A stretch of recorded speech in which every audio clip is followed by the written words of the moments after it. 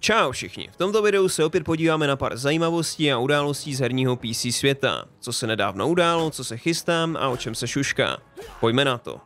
Na internetu se šíří nový seznam údajně líknutých informací týkající se GTA 6. Nebudu číst úplně každou věc z toho seznamu, protože jak můžete vidět je docela objemný, ale pár zajímavostí si projdeme. GTA 6 by prý měla být oznámena na jaře roku 2022 a výjít v říjnu v roce 2023, s tím, že PC verze by měla být vydána o rok později než konzolové verze, jak je již u Rockstaru s Lozvikem. Příběh by se měl odehrávat v Miami, takže návrat do Vice City v 70. a 80. letech, ale tentokrát by se měla mapa rozprostírat po celé Floridě.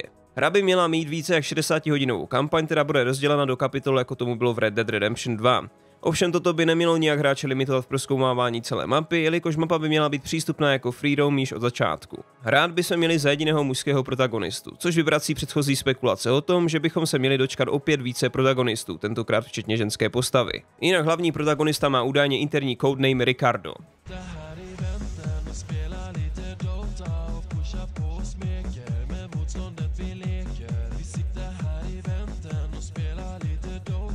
Jde vidět, že Rockstar má stále smysl pro humor, anebo tohle akorát potvrzuje tom, že tyhle líky jsou jeden velký joke.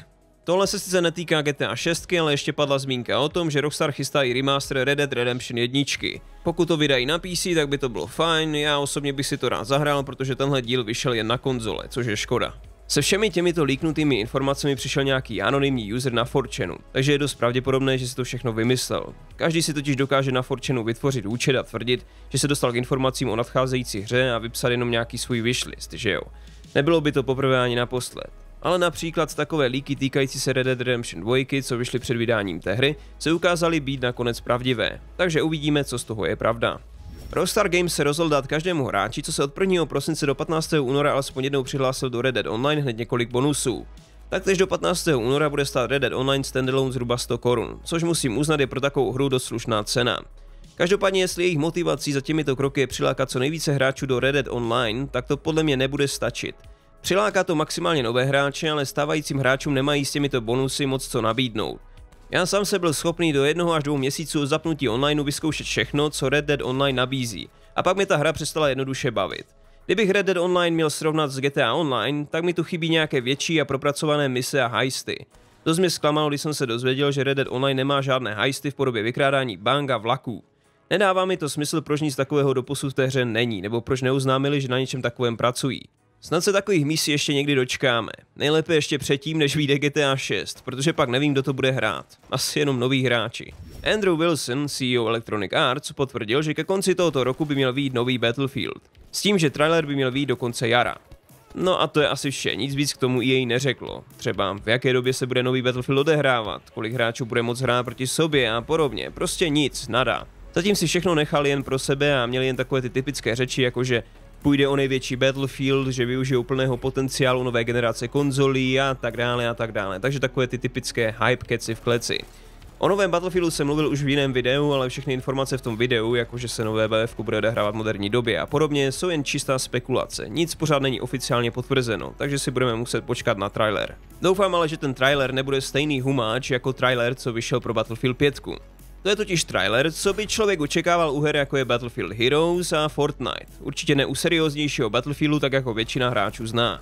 Zůstaneme u EA. EA totiž plánuje akvizici Codemasters, britskou herní společnost a vydavatelství, které stojí za herními sériemi jako jsou Formule 1, Dirt, Grid, Project Cars a podobně.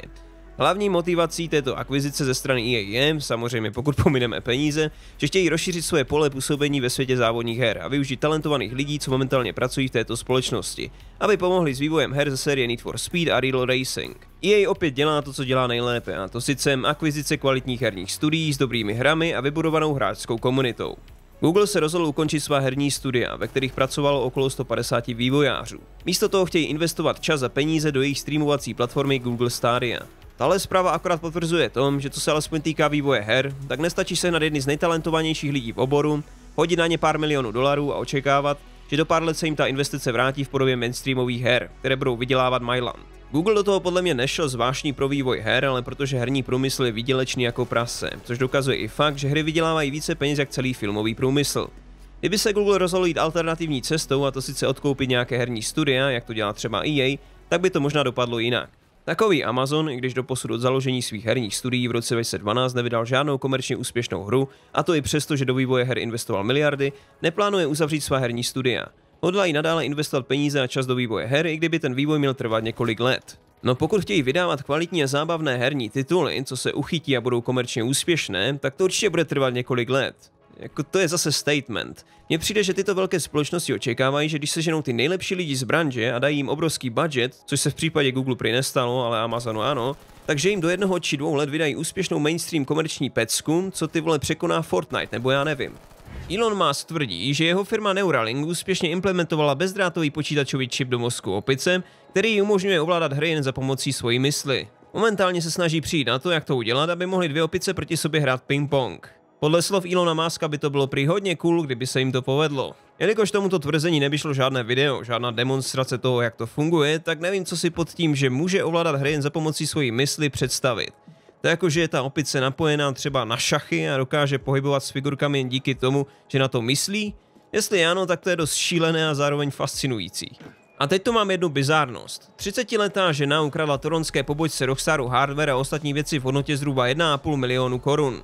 Jak se jí to ale povedlo, se bohužel nikde nepíše, což je škoda, protože to zní jako dost zajímavý heist. Rockstar Games Toronto se podílelo na vývoji her jako Red Dead Redemption 2 a Max Payne 3, ale hlavně se starají o porty her na jiné platformy. Hádám, že paní zlodějka byla zřejmě nedočkavá a chtěla se dozvědět něco o nových chystaných hrách od Rockstaru. Všichni dychtí po nových informacích, takže se jí nedivím, že se na jejich pobočku takhle vrhla. Jsem si naprosto jistý, že to neukradla za vidinou výdělku, protože by ty peníze stejně Rockstaru vrátila skrze nakoupené shark cardy. No a to bude vše pro toto video. Díky za zhlednutí a případnou podporu v podobě lajku, odběru, sdílení a podobně. Arrivederci.